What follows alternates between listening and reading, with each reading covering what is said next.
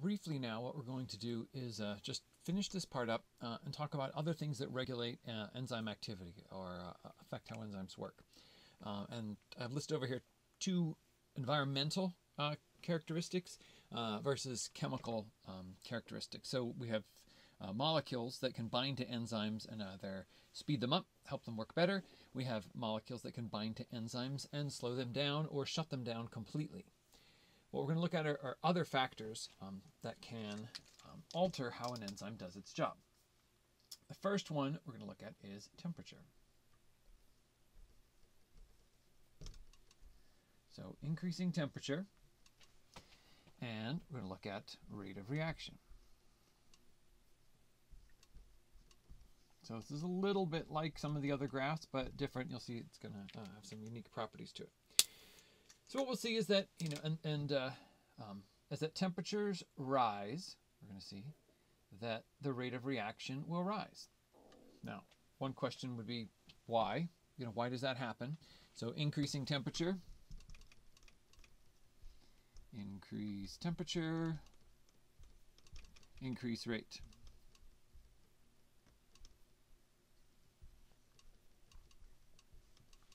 So why is that?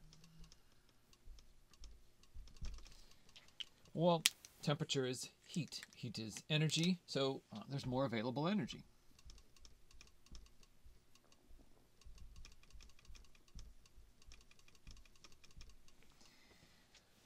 So the available energy is going to allow the enzyme um, to speed up the reaction partly because uh, that energy is going to be there to um, supply the activation energy that's required. In addition, the molecules are going to be moving around faster, which is the other aspect of it. So um, previously we talked about concentration uh, having an effect on the rate of reaction as well. And in this case, um, it, it was due to interactions between the substrate molecule and the enzyme. So if in this case, um, the molecules are moving very slow because it's a really cold temperature, they're less likely to interact. And there's not going to be much heat in the environment to supply uh, the activation energy. As the temperature rises, the molecules start moving faster and faster, and you're going to see more and more interactions. So you're going to see the, the rate of reaction speed up and speed up. But now we're going to see something different happen in the curve here. We're going to hit a point, and then we're going to drop off like this. So one of the questions would be, you know, why, um, why would that happen? So what, what happens here? Well, right before we hit that point, right before we hit this place here, what we're going to find is a, a temperature that would be an optimal temperature.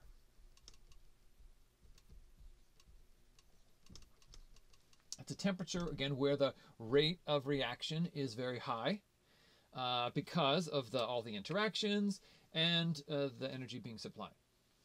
So why, if we increase the energy, does then the reaction stop here in this particular case? The reason would be because the enzyme, remember, has this unique three-dimensional shape. That's just a generic one. Within that three-dimensional shape, remember, there are alpha helices. There are zigzagged beta strand, beta sheet structures. Okay. There are all these folded parts that collectively make up this three-dimensional, so just drawn it here flat, but there'd be it's a three-dimensional molecule that has a lot of hydrogen bonding.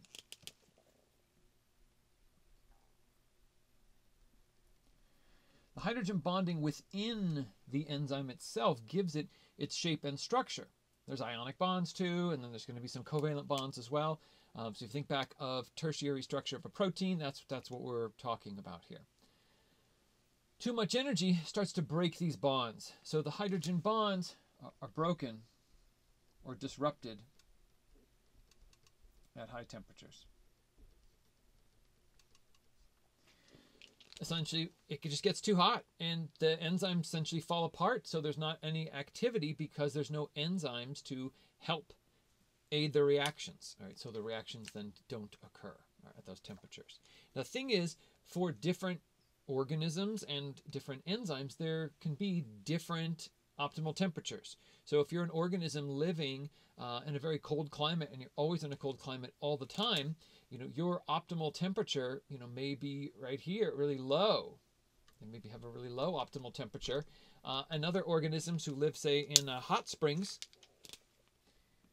they can have actually very high optimal temperature. So, at, you know, say our body temperature, there's almost nothing going on, you know, in these cells. The the enzymes are, are, are they could work, but maybe they're not even shaped quite properly. There's very little energy to overcome activation energy because of the nature uh, of the way those particular enzymes work. Uh, so you need a lot more heat uh, to eventually get the reactions moving. Uh, and you'll see this uh, again with different organisms that live in, in different sorts of environments. So that's that's temperature. Okay. Now the thing is, what we're going to see is something very similar to this happen with pH. Usually with pH, it's not as abrupt. So with temperature, you usually see this drop off because um, the proteins become denatured, right?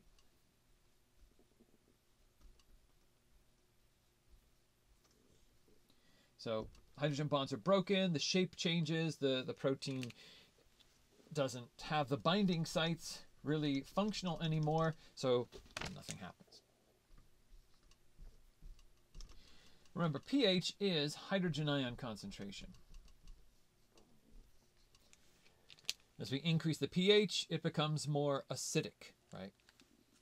So proteins, which have a three-dimensional shape, largely based on bonds between, say, the R groups, uh, hydrogen bonds, ionic bonds, covalent bonds, nonpolar interactions, all these things, they're going to be affected by charge of the environment. So pH is essentially here representing the environmental charge.